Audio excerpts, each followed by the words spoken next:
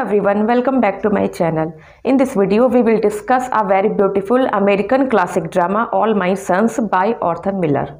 At first, we will look at the important key facts of the play, then we will discuss the important characters of the play and after that, finally, we will discuss the detailed summary of the play. So let's start the video. All My Sons is a three-act play by Arthur Miller. It was written in 1946.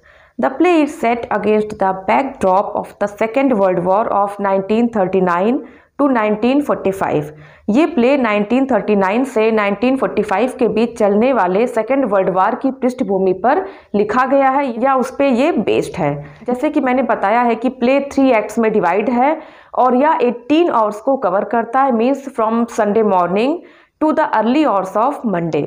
The entire action of the play takes place in the backyard of the house of Joe Keller, who is a rich industrialist actually ये play एक rich industrialist Joe Keller की कहानी बताता है जो अपने business partner Steve डीवर को चीट करता है और जिसके बाद स्टीव डीवर को जेल भेज दिया जाता है और अब स्टीव डीवर अभी भी जेल में रह रहा है।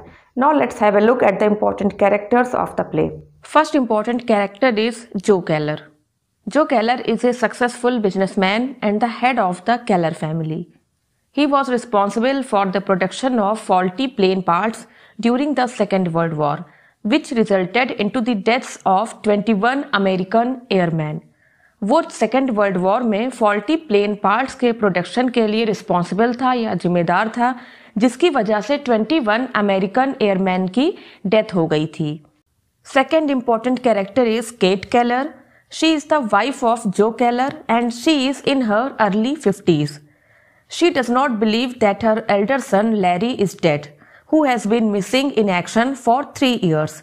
Actually faulty plane parts का जो केस था उसके बाद लैरी सुसाइड कर लेता है इसलिए वो तीन साल से मिसिंग है तीन साल से वो उसकी डेथ हो चुकी है बट केट कैलर जो है उनकी मदर हैं वो ये मानने को तैयार नहीं होती हैं कि लैरी की डेथ हो चुकी है third character is Chris Keller Chris Keller is one of Joe's and kids two sons actually first son is Larry and second son is Chris he survives the war and work in his father's business he idolise his father Joe Keller as Chris does not know what his father has done actually जो उसके brother Larry की death हुई थी, उसके लिए भी उसके father ही रिस्पॉन्सिबल थे. बट ये बात क्रिस को नहीं पता है, इसलिए वो अपने फादर को आइडोलाइज करता है.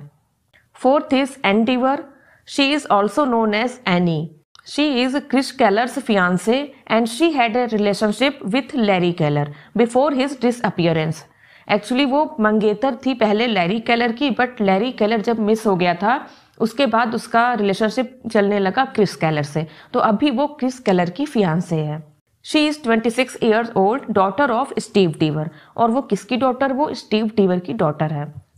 Next is George Deever He is 31 years old, Annie's older brother. He is a successful New York lawyer and childhood friend of Chris Keller. He initially believed in his father's guilt, but soon he realizes his innocence after visiting him in jail. Actually जब वो अपने father से visit करता है jail में इसके बाद उसको पता चलता है कि उसके फादर इनोसेंट थे और इसके पहले वो अपने फादर को गिल्टी मानता था इसलिए वो अपने फादर से बात भी नहीं करता था and after visiting his father in jail, he then tries to save his sister from her marriage to Chris. Sixth important character is Steve Deaver. He is George and Annie's father. Steve is sent to prison for shipping faulty aircraft parts. He was Joe's subordinate at the manufacturing plant. वो manufacturing plant में जो का subordinate था. Next important character is Larry Keller. We never see him in the play. He commits suicide when he hears the news that his father and Steve Deever manufactured faulty parts and killed American soldiers Annie Deever knew of Larry's suicide and when she reveals it to Joe Keller then Joe comes to believe that he has killed his son then he kills himself at the close of the play last में play के last में क्या होता है कि जो कैलर suicide कर लेता है। Next important character is doctor Jim Bayliss He is one of the Keller's neighbors and he is 40 years old, a successful doctor. He is a close friend to the Keller family. Next is Sue Bellis. She is 40 years old, Jim's wife. वो Jim की wife है वो forty years as की है she is also the friend of the Keller's family apart from the major characters there are also the minor characters and they are Frank Lubey who is Keller's neighbour Lydia Lubey who is Frank's wife and Bert who is eight years old little boy he appears only twice in the play वो सिर्फ़ दो बार दिखाई पड़ता है play में। Now let's start the summary of the play play start होता है जो कैलर के बैकयार्ड से, जहाँ जो कैलर अपने पड़ोसी जिम बैलिस के साथ न्यूज़पेपर पढ़ते दिखाए जाते हैं। जो कैलर की वाइफ हैं केट कैलर और इन दोनों के दो बेटे हैं लैरी कैलर और क्रिस कैलर जिसमें से लैरी कैलर अब ज़िंदा नहीं है, वो तीन साल पहले वर्ल्ड वॉर टू में मारा गया था।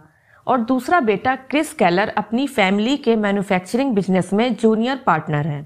अब जिम वहाँ से चला जाता है और जिम के जाने के बाद क्रिस कैलर अपने फादर जो से कहता है कि उन दोनों ने यह गलत किया है कि उन्होंने केट कैलर यानी कि क्रिस की मदर को यह विश्वास करने दिया है कि उनका बड़ा बेटा लैरी कैलर एक दिन लौट कर आएगा।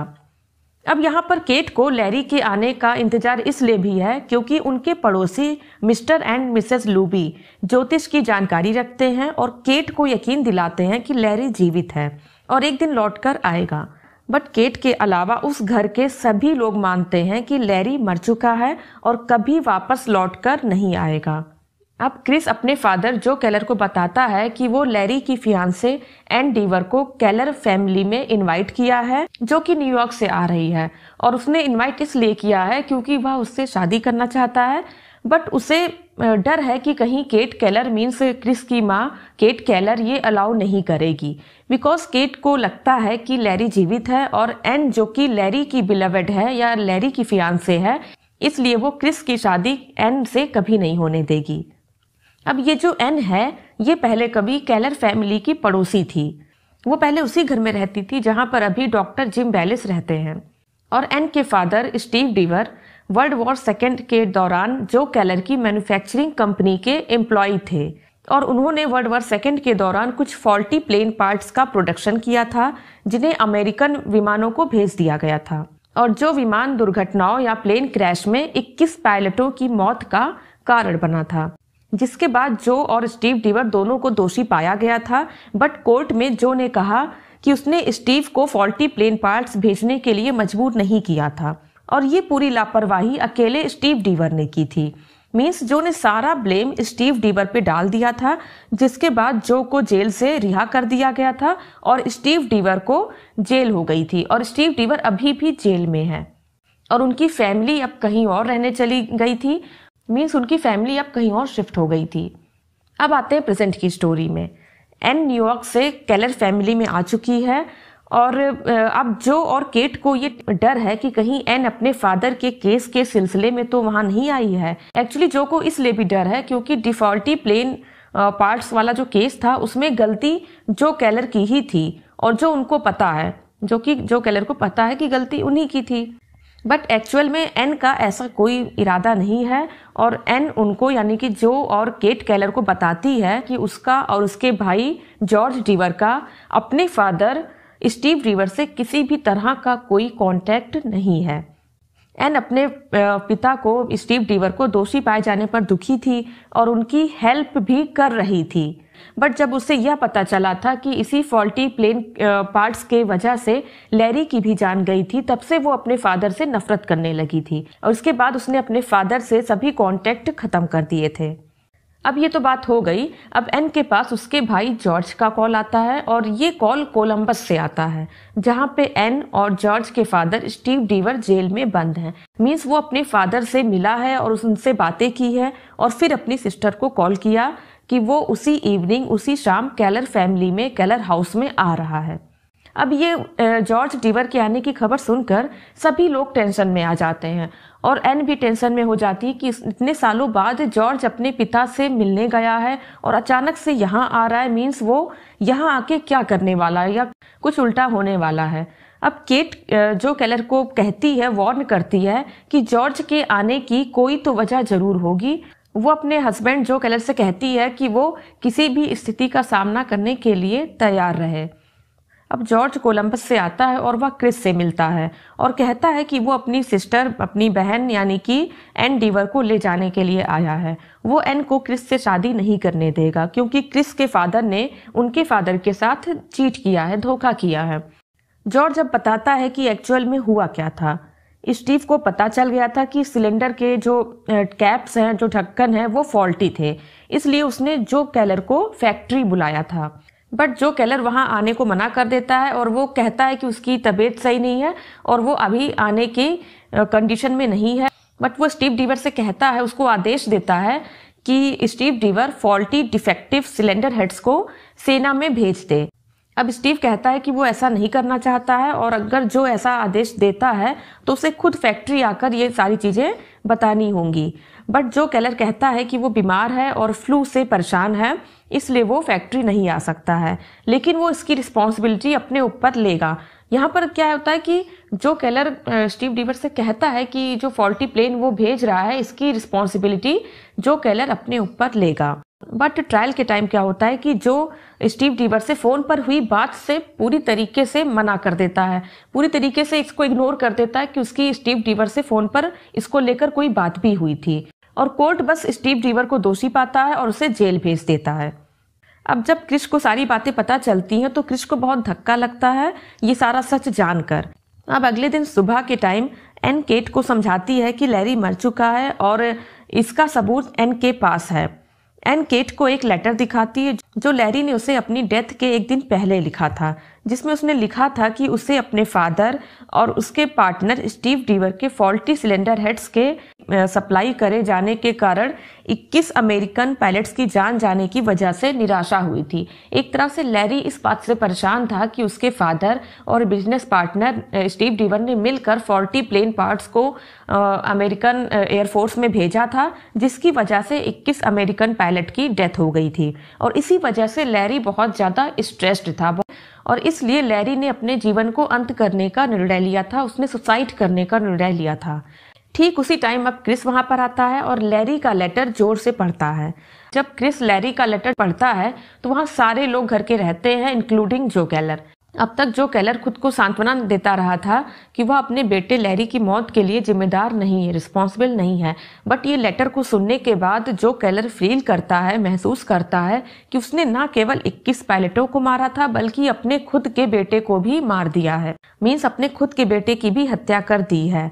अब जो कलर एक सेंटेंस बोलता है कि सभी सैनिक means 21 American soldier 21 army soldier उसके बेटे हैं मीन्स ऑल माई सन्स अब जो कैलर क्या करता है कि वो अपने रूम में चला जाता है, वह यह कहते हुए रूम में जाता है कि वह सरेंडर कर देगा और उसके रूम के अंदर जाते ही उसके रूम से गोली चलने की आवाज़ आती है, सुनाई देती है मीन्स जो कैलर ने खुद को शूट कर लिया है।